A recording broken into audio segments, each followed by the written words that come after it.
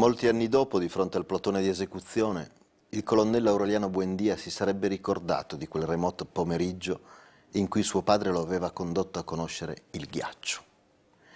Macondo era allora un villaggio di venti case di argilla e di canna selvatica, costruito sulla riva di un fiume dalle acque diafane, che rovinavano per un letto di pietre levigate, bianche ed enormi, come uova preistoriche. Il mondo era così recente che molte cose erano prive di nome e per citarle bisognava indicarle col dito. Tutti gli anni, verso il mese di marzo, una famiglia di zingari cenciosi piantava la tenda vicino al villaggio e con grande frastuono di zufoli e tamburi faceva conoscere le nuove invenzioni. Prima portarono la calamita, uno zingaro corpulento con, con barba arruffata e mani di passero, che si presentò col nome di Melchiades, diede una truculenta manifestazione pubblica di quella che egli stesso chiamava l'ottava meraviglia dei savi alchimisti della Macedonia.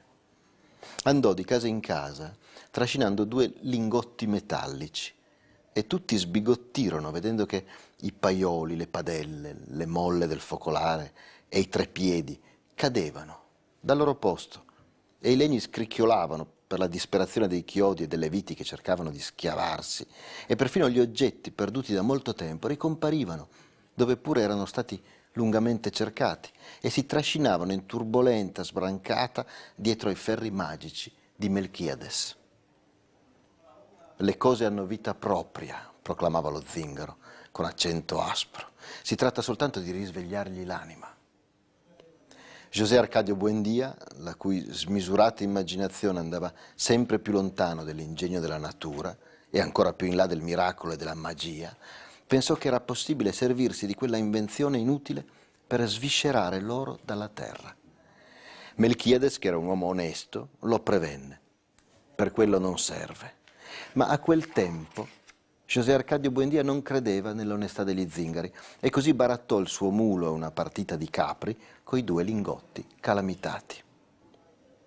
Ursula Iguaran, sua moglie, che faceva conto su quegli animali per rimpinguare il deteriorato patrimonio domestico, non riuscì a dissuaderlo. Molto presto ci avanzerà tanto oro da lastricar nella casa, ribatté suo marito. E per parecchi mesi si ostinò a dimostrare la veracità delle sue congetture esplorò la regione palmo a palmo, compreso il fondo del fiume, trascinando i due lingotti di ferro e recitando ad alta voce l'esorcismo di Melchiades. L'unica cosa che riuscì a disotterrare fu un'armatura del XV secolo con tutte le sue parti saldate da una crostaccia di ruggine, la cui covità aveva la risonanza vacua di un'enorme zucca piena di sassi.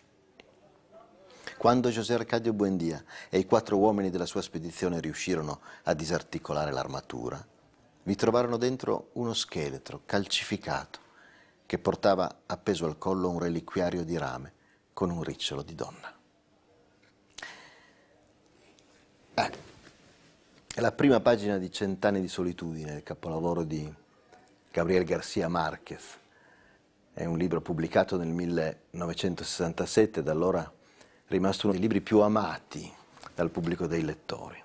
Uno dei libri forse che dà più piacere proprio nell'esperienza della lettura per la sua abbondanza di storia, la sua facilità di tono, di voce. Per chiunque ami i libri, un'avventura bellissima.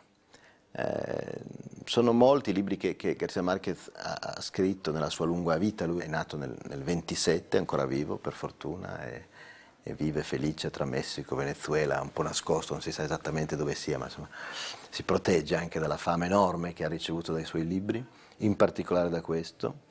Libri che hanno valso anche il premio Nobel eh, e l'hanno messo quindi per sempre nell'empirio dei grandi scrittori. Eh, capire lui significa capire, capire, ecco, insomma, entrare in quello che lui ha fatto, vedere più da vicino quello che lui ha fatto significa anche abbastanza entrare nel mondo della letteratura sudamericana, una specie di porta eh, più bella, più divertente, più facile di altre per entrare tutto, in tutto un mondo e in un modo di concepire la scrittura, il racconto e i libri. E quel che faremo sarà qui eh, quindi entrare per quanto è possibile un po' in questo libro in particolare, perché, eh, perché davvero tutto il mondo di, di, di Garcia Marquez è lì e cercare di capire da piccoli particolari che però per, per, noi scrittori in particolare sono rivelativi, sono come segreti di costruzione da cui tu capisci tutto un mondo che c'è dietro. Ecco, capire che razza di scrittore era e perché è riuscito a generare tanto affetto, tanta riconoscenza, tanto divertimento in tutti i lettori, moltissimi, che ha avuto in tutti questi anni. Continue minacce da parte della CIA lo inducono presto a lasciare la città e a trasferirsi in Messico. Qui riprende la sua attività letteraria. Pubblica il volume di racconti I funerali della Mamma Grande e nel 1967 vede la luce il suo capolavoro, Cent'anni di solitudine.